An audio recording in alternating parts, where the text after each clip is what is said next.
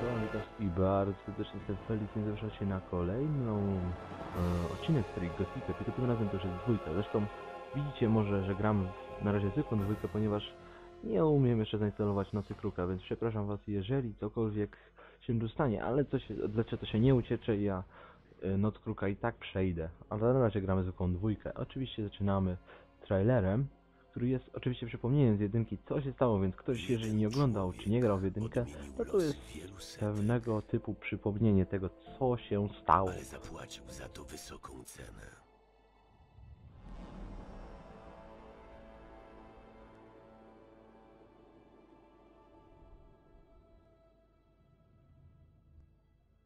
Górnicza Dolina w Korinis. O, widzę, że już mamy, znaczy dwóch byłych przyjaciół, czyli, znaczy byłych, znaczy dalej przyjaciół, czyli jak oni się tam nazywali, Diego i ktoś jeszcze, to nie pamiętam jak dokładnie. Dobra, ale się zamykam, bo to zaraz będzie dalej gadulstwo, więc wolę się nie odzywać. Póki co, natomiast tutaj widać, że bariera padła.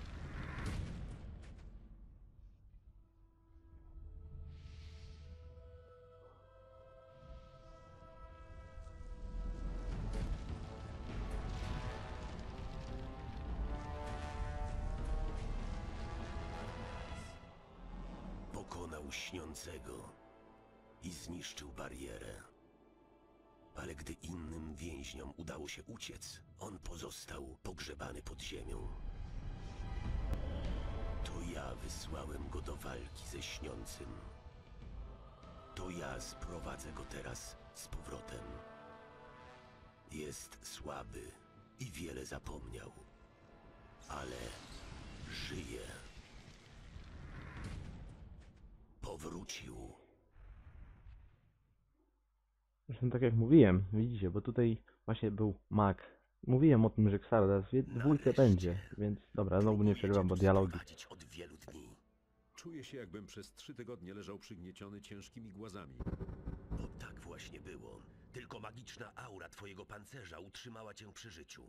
Ale dość tej rozmowy. Wkrótce odzyskasz siły. Mam na to wystarczająco dużo czasu. W końcu zwyciężyłem. Śniący został. Wygnany z naszego świata.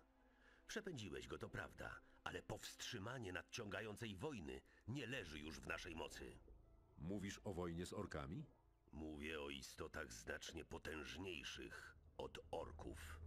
Swym ostatnim krzykiem rozpaczy śniący przywołał potężną armię zła. Był to wyraźny rozkaz dla wszystkich istot ciemności. Potężne słowo magii, któremu nie mogły odmówić. Jego ostatni rozkaz brzmiał: Przybywajcie. I przybyły wszystkie, nawet smoki. Smoki. Tak, nawet te potężne, prastare istoty. Wyczuwam ich obecność także tutaj. Smoki zebrały wokół siebie liczną armię służących im istot. Gdzie jest teraz ta armia? Zaległa obozem całkiem blisko stąd, w górniczej dolinie, niedaleko Korinis. Teraz przygotowuje się do ostatecznego ataku.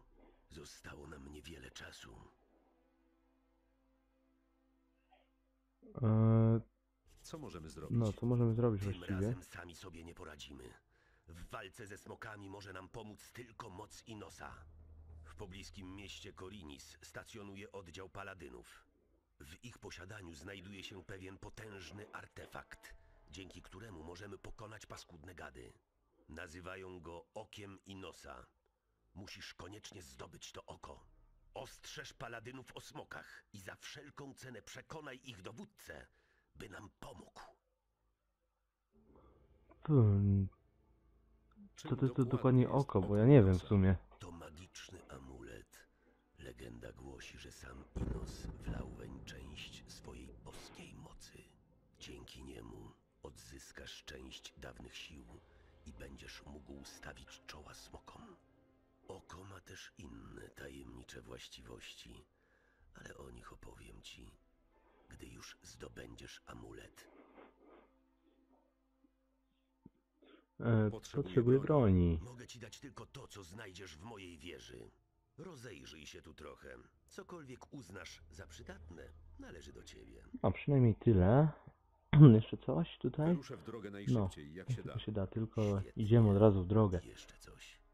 Nie zdradź nikomu, że ze mną rozmawiałeś.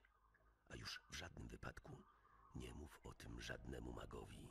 Odkąd obrałem własną ścieżkę krąg ognia, mam mnie za zmarłego.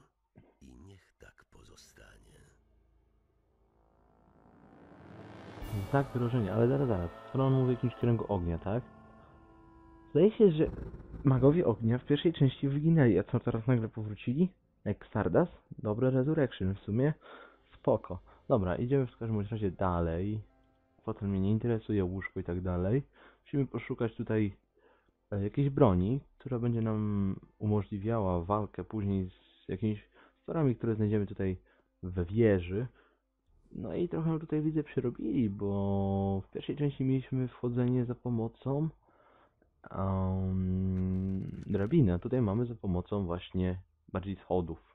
Tutaj zresztą trochę inaczej to wszystko um, się odbywa, ponieważ zauważyłem, że że, że, że, że no że, że, że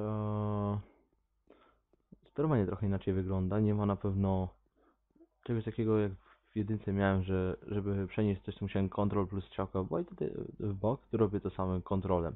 Więc jest naprawdę nieźle. O, kręcimy driftem. No dobra. Jeszcze tutaj zdaje się właśnie jeden kuferek i teraz sobie wyjdziemy na powierzchnię, gdzie o, kolejne yy, kolejne zwoje, gdzie pewnie będą nas atakowały już jakieś stwory, więc fajnie, że te zwoje są. Fajnie, że nas tak gra rozpieszcza dosyć na początek. Yy, złoto. I zdaje się, że możemy już stąd wyjść, bo tutaj już więcej nic nie znajdę. Tu. A już grafika ładniej wygląda niż w jedynce, nie? Kontrol oczywiście musiał być, ponieważ em, no nasz sztylecik tutaj się przyda za chwilę. Ciemnawy grzyb. Ja tam widzę owieckę. Jep. Owiecka padła. Padła w cholerę posła. Stylet. Din. Din będzie potrzebny. Ym, musimy teraz tak. Ponieważ goblin. Tutaj te stwory nie są zbyt silne, ponieważ tą grę próbuję na was, dla was nagrać właściwie drugi raz, ponieważ coś e, Camtasia postanowiła sobie rozjechać całkowicie nagranie, no i w dupie z tym wszystkim, nie? Niestety się to muszę nagrywać jeszcze raz, ale nagram. Nic Oczywiście tutaj dwa zacisze. I fajne jest to też, że nasz Bezidiusz, Bezi, Bezidiusz e, mówi, jeżeli nic nie ma w środku, nie tak w jedynce, ale tak jakieś kocie ruchy robił, że nic tam się nie znajduje ani nic, więc to jest lepsze według mnie, taki komentarz dodatkowy. To no, myślę, że wzięli na uwagę po prostu twórcy robiąc dwójkę.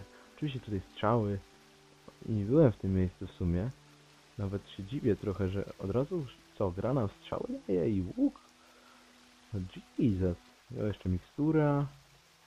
Jeszcze zwój, nawet dwa tam były, więc kurde. Naprawdę dużo tego nam dają na początek. No dobra, zapiszemy sobie. Oczywiście ten e, ten zapisowy cały to wszystko do zapisywania też dosyć dobrze już wygląda. To Cykamy dalej. Cykamy dalej. Wywalczyć też oczywiście z dalej położonymi stworami. No i tu widzimy pana wilczka, młodego wilczka. Ciekawe czy starsze wilki, znaczy jest w ogóle coś takiego jak wilk, po prostu zwykły.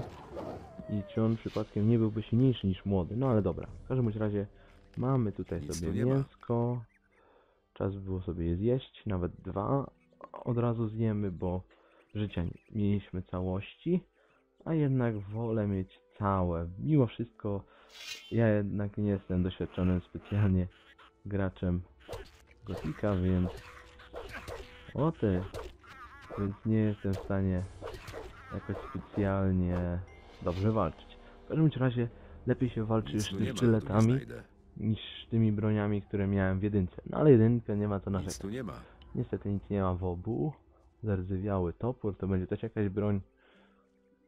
E, Cóż, mamy tu kuferek, więc sobie go otworzymy. Miksturę, trochę złota, no i sztylet. No nie jest źle jak na początek.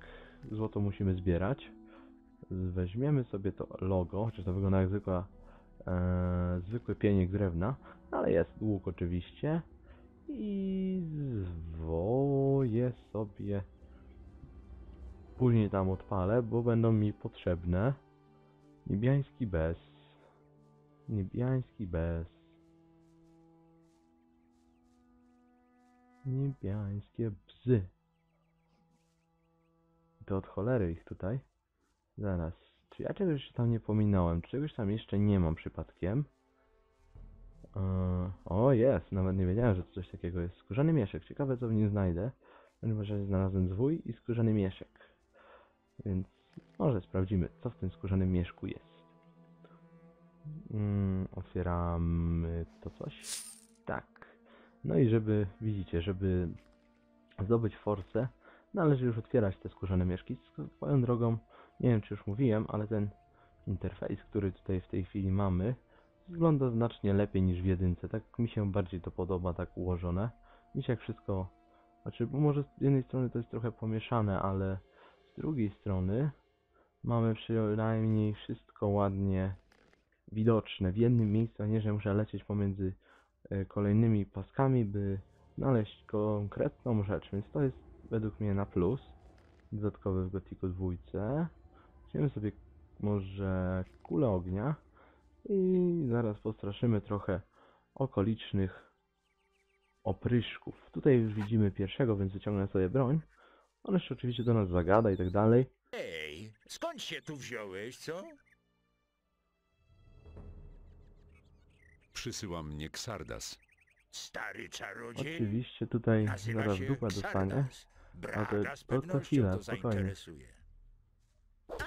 A, dziwna dosyć reakcja. E, staruszek? Nazywa się Xardas? Tak, z taką pewnością to powiedział. Nie będzie tego z taką niepewnością, jakby się dowiedział dopiero. Tylko tak stuprocentowo się dowiedział, że to jest właśnie to, co e, tak się nazywa ten nasz mag. Dobra, zobaczmy sobie ten list gończy, ale to za chwilę. Jak zjemy sobie oczywiście szyneczkę, kanapeczkę, co tylko można, żeby mieć pewne życie. I bang. O, oczywiście jest to nasza podobizna, czyli na nas polują. Znaczy, że ktoś nas nie chce tutaj. Zaraz, to jest jeszcze roślinka lecznicza. I zaraz potraktujemy panów dwóch, bo tam jeszcze dwóch zostało, Brak i jego wspólnik. E, Potraktujemy ich za chwilę ognistą kulką. Ha. Kurde, jak ja nie lubię tego, tak jak wchodzić w taką stronę. Pan Brago, bo do nas zagada nie normalnie, więc tu przychodzić. się nie opłaca do niego podchodzić nawet. Spróbujemy tego bandytę normalnie posiekać. To jest tylko on sam, więc chyba nie powinniśmy mieć większych problemów z nim. A jednak, Tyle na ten temat. a jednak postanowił nas sobie zarżnąć jak małą świnię. Ale spokojnie, za chwilę dokonamy na nim czynnego mordu. I to też kulą ognia, tylko będziemy musieli kawałek uciec tuż po tym jak wykonamy wyrok na Bragim, czy na Bragu. Nie wiem jak to odmienić dokładnie, bo imię ma dosyć nietypowe, więc trudno to stwierdzić, jak to odmienić. No nie, no znowu ten sam, no jest, znowu bym wbił to samo. Dobra, panie Brago. Nie powinieneś tu przychodzić. Nie no, co ty, co ty gadasz, stary? Zwijamy się przed tym gościem, bo on jest niebezpieczny. Mam nadzieję, że nie będzie nas ganiał. No, jeszcze nas chyba na razie nie gania, więc zwijałem na taką odległość, ale wolę jeszcze dla świętego spokoju kawałeczek uciec. W celu takim, żeby nas po prostu, no, mimo wszystko, jest takie coś jak było w jedynce, w końcowych odcinkach, zwłaszcza u demonów, że one tak nagle stawały, stawały, my żeśmy też sobie stawali, chcieliśmy się uleczyć i tu nagle dupa, bo i tak wyszło na to, że one do mnie podbiegły. No ale dobra, przynajmniej mamy kulę ognia, którą możemy zabić i tego bandytę, więc zabijemy go sobie, znaczy bo ja to robię w tej chwili dla siebie jedynie, E, więc no, mógłbym go zostawić, mógłbym go zostawić w spokoju, ale gościu tam jeszcze pilnuje pewnych skarbów, więc warto go zabić i dowiedzieć się może też przy okazji, kto ich nasłał na mnie. Nie powinieneś tu przy... Jep. No i po panu sztylet. A, miał zwykłego sztylecika. No niezbyt dużo tutaj ciekawych rzeczy, chociaż o, trochę złota, trochę żarcia i jakiś e, papier, zaraz go przeczytamy może. No, ten też niezbyt wiele ciekawych rzeczy, no ale coś zawsze. Zwłaszcza złoto, które jest, no, na pewno na tym etapie gry na pewno przydatne, ponieważ będziemy kupowali zbroje, nie zbroje, tego typu rzeczy. Zioło, znaczy złoto. O, przepraszam was. Najserdeczniej was przepraszam. O. Dobra, możemy iść dalej, ale najpierw sprawdzimy sobie ten yy, wiadomość, tę wiadomość. Zostawiłem wszystkich, zatrzymujcie wszystkich, którzy przyjdą na od strony gór. Jeśli ktoś przekroczy przełęcz, będzie to prawdopodobnie pewien starzec, patrz Xardas. Na nie dajcie się zwieść. On lubi jądra gnieść. Może się z nim skontaktować yy, Bezi. Wraz z tym listkiem otrzymacie 30 sztuk złota. Kolejne 30 po zabiciu. Wnieście głowę do starej kopalni oczywiście. Już zapisuję sobie, znaczy bo już tam zapamiętałem końcówkę, więc mi nie trzeba było doczytywać. E, W każdym bądź razie będę się musiał udać w którymś odcinku do starej kopalni, gdzie prawdopodobnie znajduje się nas, nasz e, nasz Nemezis, ponieważ on już na samym początku nie chce, abyśmy przeżyli to, więc znaczy, że ktoś na nas poluje, mimo wszystko, że uratowaliśmy wszystkich z y, tej zapadłej dziury, jaką było y, jak to się nazywało? Y, pod zboże. No, zapomniałem. Jak to się nazywało? No pod tą kopułą elektryczną. Magiczną, o, pod, pod magicznej bariery wszystkich uwolniłem, to mimo wszystko, mimo wszystko niektórzy na mnie polują. Ja tego nie rozumiem. A zresztą, czy ja to kiedyś zrozumiem? Chyba nie za bardzo. Ale przynajmniej gramy sobie tutaj, gra się rozwija dosyć ciekawie już na sam początek. Już na samym początku mamy jakąś akcję, ponieważ musimy się...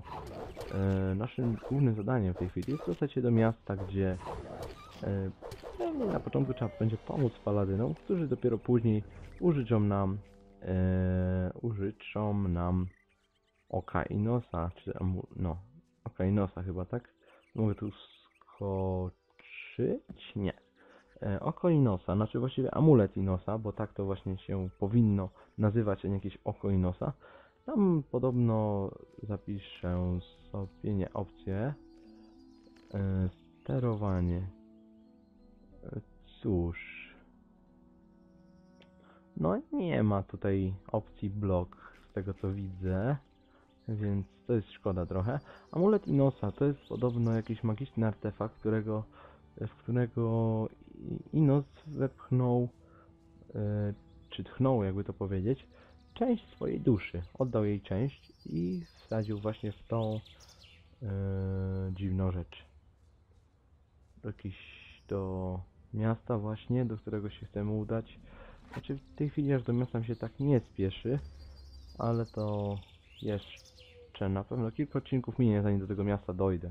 Ale mówię, dlatego że mi się nie spieszy do tego miasta. Wędrowcze! O Jezu, taki on ma dziwny głosik. Jak wyszedłeś z pomiędzy gór. Masakra. Ciesz się, że nie przyszedłeś tutaj trzy tygodnie temu. A wzięlibyśmy cię za zbiegłego więźnia, a No wtedy jakie szczęście, o byśmy się z ludzie. tobą rozprawili. Wyglądasz na wykończonego. Czego tu szukasz? W górach zostałem zaatakowany przez bandytów podróżnych do miasta. W górach W zostałem. górach zostałem zaatakowany przez bandytów. Te przeklęte śmiecie! To pewnie ci sami, którzy ostatniej nocy ukradli nam owce. Miałeś Ale owce jedną, niesamowite czy owce w sensie, że szczęście. liczbą nogą? Rzadko kto uchodzi z życiem. Mm, bandyci nie będą już więcej was Bandyci niepokoić. nie no już proszę, was jakaś więcej misja niepokoić. dodatkowa. Ale Czemu? zrobiliśmy to. Nie żyją? A co, interesuje cię to? niewłaściwą osobą. Chwała Inosowi! E, proszę, e, przyjmij ten e, skromny dar. O, opowiem o tym pozostałym. Podróżuję do Podróżuję miasta. Przy twoim wyglądzie będziesz musiał przekupić Hej, co strażników, to ma jeśli znaczyć? chcesz, Poddawy mi, żeby stary, nie obrażaj mnie. puścili. Musisz wiedzieć, co chcą usłyszeć. A Brzdęk co to monet? takiego? Możesz im na przykład powiedzieć, że e, przychodzisz z farmy Lobarta i Kim jest chcesz się Lobart w dostać ogóle, do ty? Kowala. Mówisz Chociaż mi o to jakimś raczej Lobarcie, nie nawet nie wiem kto to. Nie wyglądasz na chłopa. Rozumiem. Dobra, potrzebuję lepszego wyposażenia. Potrzebuję lepszego wyposażenia.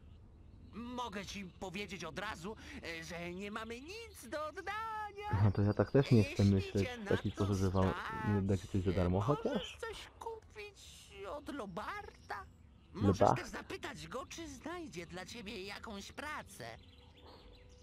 E, Gdzie znajdę tego znajdę waszego Lobarta? Lobarta? Jest gdzieś na farmie, to chyba oczywiste. W końcu to jego własność. Tylko nie próbuj z nim zadzierać.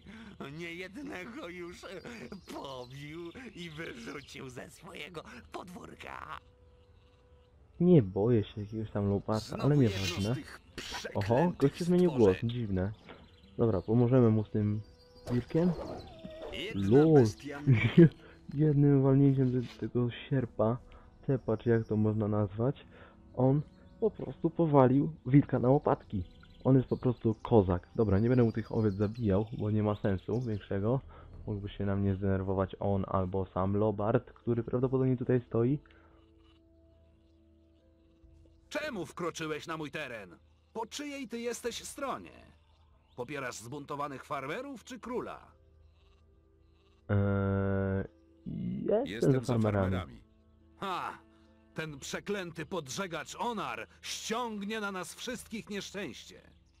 Jak sądzisz, czy paladyni będą się temu wszystkiemu przyglądać w nieskończoność? Po tym, co zrobił Onar, w całym mieście aż zawrzało. A ciekawe co zrobił w ogóle. Dobra, potrzebuję mi Potrzebne mi jakieś ubranie. ubranie. Mogę ci dać czyste ubranie robocze. Jeśli mi za nie zapłacisz. No A spoko. jeśli nie masz czym zapłacić, na farmie zawsze przyda się dodatkowa para rąk. To znaczy, jeśli potrzebujesz pracy. Ehm, Ile chcesz za to za to ubranie? ubranie właściwie? Zastanówmy się.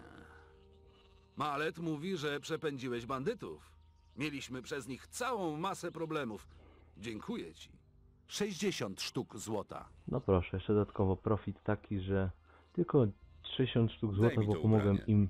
W Przepędzić moim domu bandytów. stoi kufer, w którym zamknięte są czyste ubrania. Żeby tylko ci nie przyszło do głowy wziąć sobie coś jeszcze. No i dobra, dobra. Co tu się Co właściwie się tu dzieje? dzieje? Pytasz, co się dzieje? Chłopie, skąd ty się urwałeś? Jesteśmy w przededniu wojny domowej. Dobrze, że nie Do pyta tej skąd pory pochodzę. farmerzy traktowali był problem. czynsz jako sprawiedliwie naliczany podatek. Jednak odkąd w mieście pojawili się paladyni, coraz częściej odwiedzają nas strażnicy. Kawałek po kawałku rozkradając nasz dobytek.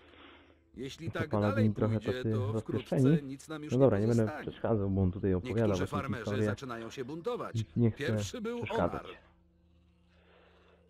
Ym, powiedz mi, po czyjej jesteś stronie ogóle, czy też króla, Powiedz mi powiedz coś mi coś więcej o o Onarze. tym onarze. Onar jest właścicielem największej farmy w okolicy. Onar, jak ten Całkowicie raper. zerwał kontakty z miastem. Podobno zatrudnił najemników, aby nie dopuszczali straży do jego posiadłości. Trudno się zresztą temu dziwić. W każdym razie to zadziałało. Żaden strażnik miejski nie śmie postawić stopy na jego terenach. Yy, Kim, Kim są ci najemnicy zatrudnieni przez Onara? Nie wiem o nich zbyt wiele. Prawdopodobnie większość z nich to byli więźniowie z kolonii. Wszyscy wiemy, czego się po nich można spodziewać. o, może mógłbym znaleźć z nimi wspólny język w sumie, skoro to są... Yy, właściwie byli więźniowie ko- z kolonii. Ja również przecież byłem jednym z tych więźniów. Zapiszę, oczywiście stan musi być gry, bo no mógłbym coś nawywijać przez przypadek. Hej, kto cię tu zapraszał? Natychmiast wynoś się z mojego domu. Nic Hilda, tutaj nie um, dostaniesz. Brunhilda. Dobra, sorry, nie przeszkadzam ci tutaj. wychodzimy stąd, chociaż myślałem, że to jest jego dom, a mogę się mylić.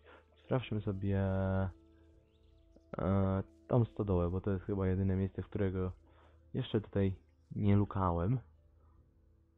Hmm, wygląda na to, że w tej stodole również nic nie ma, więc może jednak ten domek był domkiem Lobarta, więc trzeba by było zobaczyć. Bijemy się po cichutku do domu Hildy, no, która ma tu jakieś połączenie. A tu jest oczywiście kuferek. Jabłko razy dwa, serek, złoto razy dwa, no i strój farmera jeden. No, i na tyle mi wystarczyło. Właśnie kupiłem sobie ten strój, zdaje się, że to był chyba ten. A jak nie, to nie. Przynajmniej mamy strój farmera. Przydatny, bo przynajmniej jakąś zbroję ma. Zawsze to lepsze ryc jak nic. Przynajmniej poradzimy sobie dalej w walce. Przynajmniej, bo nie wiem w sumie czy sobie poradzę czy nie, bo te obrażenia jakie tak dostaję, no są na moje życie dosyć groźne. Korotowar? Jak tam robota, Kantowa, wieśniaku? kantar, sorry. Mm, Nie mogę na... Czy ja wyglądam na Czy ja wieśniaka? wyglądam na wieśniaka? Wyglądasz jak wieśniak, ale mówisz inaczej. Jeżeli się nie mylę, to mam dla ciebie interesującą ofertę. Co chcesz mi Co zaproponować? chcesz mi zaproponować? Jeżeli dla strażników przy bramie będziesz równie przekonujący jak teraz, to nigdy nie wpuszczą cię do miasta. Mogę ci pomóc dostać się do miasta. Mam tu taki mały kawałek papieru. Jest na nim królewska pieczęć i podpis gubernatora. To Glade. Tu też jest Glade. Wszędzie jest Glade. Zainteresowany? Mm, musi być jakiś haczyk. Musi być w tym jakiś haczyk. Nie, nie ma żadnego haczyka. Będziesz mi tylko winien przysługę. A jak ty A dostaniesz jak się ty do miasta? dostaniesz się do miasta? Strażnicy mnie znają. Powiem im po prostu, że zgubiłem swój Glade. Eee, dobra, Co chcesz w zamian? właśnie, co chcesz tu? Wiedziałem, że jesteś odpowiednim człowiekiem. Posłuchaj, dostaniesz ode mnie ten Glade. Tak po prostu? Jeśli jednak spotkamy się w mieście, to jesteś mi winien przysługę. Spoko, Umowa stoi? spoko. Pewnie, dawaj ten papier. Pewnie. Dawaj ten papier. Masz. Uważaj na niego. Jaki ten, Jest bardzo jaki pewny cenny. siebie. I jeszcze jedno. Nawet nie myśl o złamaniu danego słowa. Jako kupiec mam spore wpływy w mieście. Kupcem. Nie Mogę skończyłoby tu się to dla ciebie stary. za dobrze. Później Wierz mi. Nie no, obiecałem to zrobię to przecież. Pokaż mi, co masz na potrzeba. sprzedaż. Wybierz sobie. Sprzedamy przy okazji graty, które mi są niepotrzebne, a które noszę. Zobaczymy przynajmniej ile złota. O Jezus, drogie to. Ten Cordelias bym sobie wziął, ale za drogi jest w tej chwili. Yy, to tak. Sprzedamy to. To. To też. To też. To też. To też. To też. To też. Na razie chyba wszystko, aczkolwiek jeszcze mogę chyba sprzedać pochodnie. No i mamy 73 złocisze. Muszę iść. Muszę iść. Jak sobie chcesz. Przynajmniej już przehandlowałem kilka niepotrzebnych mnie rzeczy i będę miał przynajmniej troszeczkę więcej złocisza. Wow, pewnie tam będzie niebezpiecznie się dostać, ale coś mi się zdaje, że ja tam muszę wejść. Więc za chwilę mam nadzieję, że tam znajdę jakieś wejście. O, pan Goblin. Pan Goblin padł. Niczego tu nie znajdę. Niestety w panu Goblinu nic nie ma. A tam widzę dwa wiłki. R- Rotes polny, młody wiłk. A ten na skałę sobie wszedł skubany. No i weź ty trafiaj Wiłka, który szedł i się zbugował na skalę, więc go trochę wyciągniemy, chociaż trochę mało życia mamy. Mimo wszystko, że widzicie, mamy tą zbroję, ale się jakoś udało. Jakoś się udało i mamy kolejny poziom oczywiście. Może zjedzmy sobie właśnie zupę rybną, żeby odzyskać pełnię życia. Albo niebieski bez. I mamy w tej chwili prawie całe życie i jabłko. Teraz mamy całe. Tak, teraz mamy całe. Yy, zapisz sobie tutaj. No i w tej chwili spróbujemy zejść tam na dół jeszcze. Może się uda, może nie. O, dupa. Dobra. Więc tym przemiłym akcentem kończę dzisiejszy odcinek i zapraszam Was za tydzień do kolejnej przygody z serii Gotikiem. A teraz naraś.